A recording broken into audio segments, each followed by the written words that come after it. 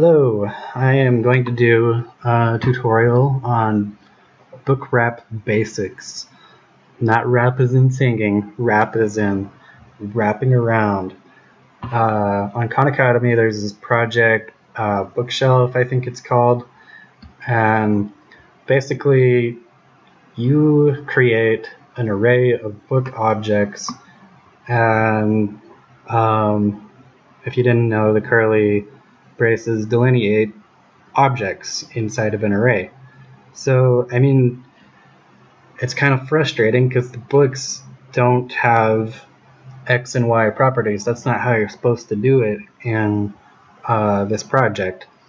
Um, so what you do is you set up some variables and you have like a conditional and you increment the variables and so as you're looping over the books the variables just kind of take care of themselves and then you draw the book at the new location. And you don't put like this dot x equals x or I mean uh, x colon 200 or whatever however the syntax is for this kind of object. Um, this you don't do in the project either. I was just uh, translating the screen and scaling it down so that I could make sure that I wasn't drawing books off screen. That's another common error in this project is uh, sure the books will be wrapping around but you're losing one book every row because before it decides to jump back to this end it draws a book over here where we can't see it. So uh, this variable is the width of the books, BW book width. And um, you can see right here, that's the width and height of the rectangles. And so this is, as I said, the coordinate. So each for each book, I'm I'm gonna pick a random color. That could probably be like a property of the books. You could have like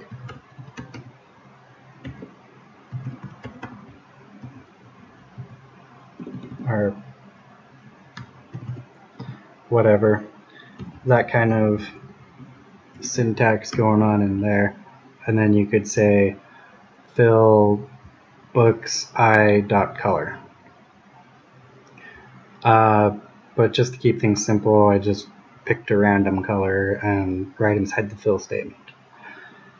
So there's a couple of different ways that you can achieve wrapping and I find the most intuitive is to just test the coordinate of the current book and so like when i is equal to 0 I'm drawing this my variables are their initial conditions after a while, after a certain number of times through this loop, x has been incremented to the point where when i is equal to 3, x is going to be something like 300 and something. Let's see.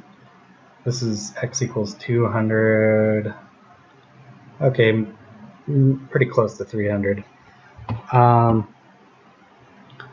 so then it looks at if x is greater than width, width is a built-in variable that goes and measures the width of the canvas. So right now the default canvas size is 400, 400. So width is 400. 400 minus BW, so that's 206, I think. No, 306. Whatever. I think you get the point. At this at this point, um, it decides that x is greater than the width minus one book. So you can see that would be right there.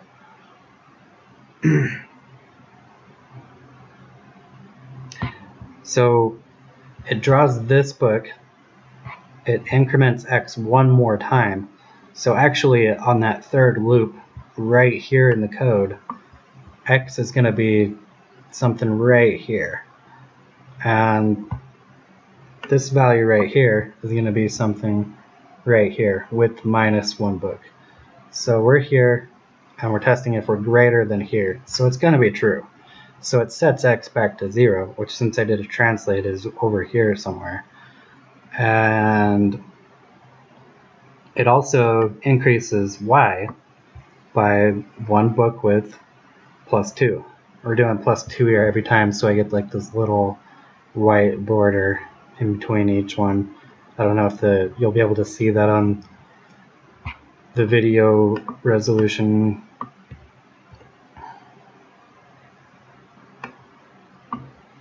They don't even have to be the same number. I can put a greater width in between the vertical ones. Anyways buffers. Buffers are usually a good thing and I would usually have those as a variable in other types of programs when I was when I'm putting buffers in I'd put var uh, I don't know what a good name for that would be. Anyways, I think I'm going to leave the video as it is. I hope that helped you in wrapping books because this is a pretty common question on Khan Academy. Don't feel afraid to ask questions. We love questions. And keep coding.